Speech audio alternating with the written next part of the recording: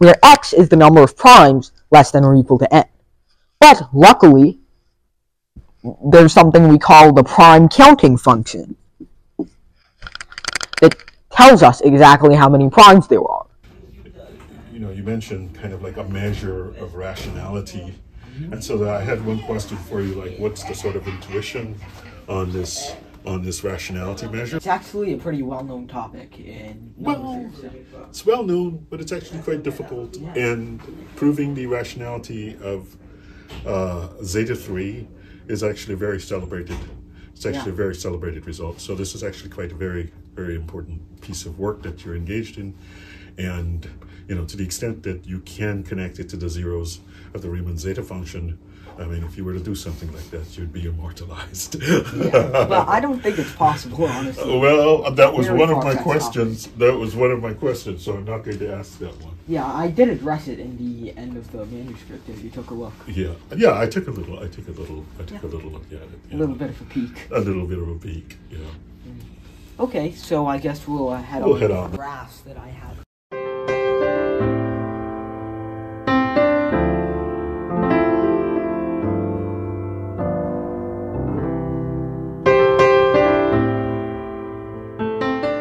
Everyone.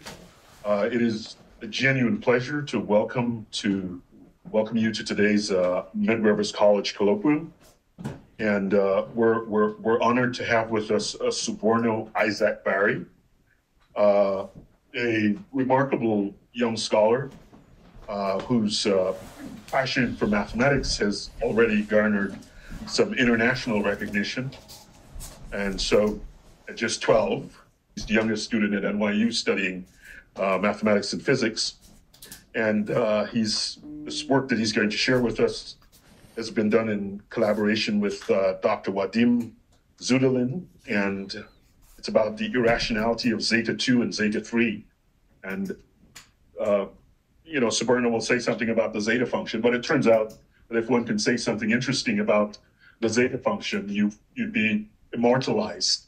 Uh, so it's it's one of those areas of mathematics that you know everyone is secretly working on trying to figure out the zeros of the zeta function, but they don't ever say it because they don't want anyone to think that they might be wasting their entire life. So uh, we're we're hoping that he's not actually working on the zeros of the zeta function, but things peripheral uh, to the zeros of the zeta function that might ultimately lead to uh, some understanding. I, I, I should say you know, this is this is work that builds on, you know, really legendary mathematicians, uh, Euler, uh, Apéry, and you know, he's been, uh, you know, mentored by, you know, mathematicians like Barry Mazur, who some of you might know, and uh, and, and Sylvain Cappell.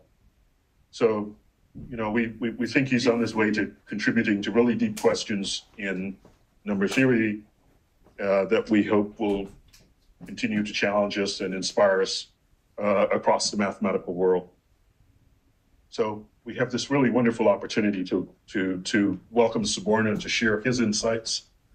And I, I, should say one last sort of personal note.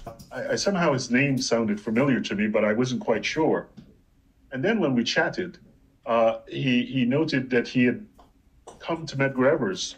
Uh, there was a guy here who was a former VP named Jerry Postman, and he'd visited with Jerry Postman as a two-year-old. It's magnesium! Oh my goodness! You know everything! and this one? or a two and a half year old.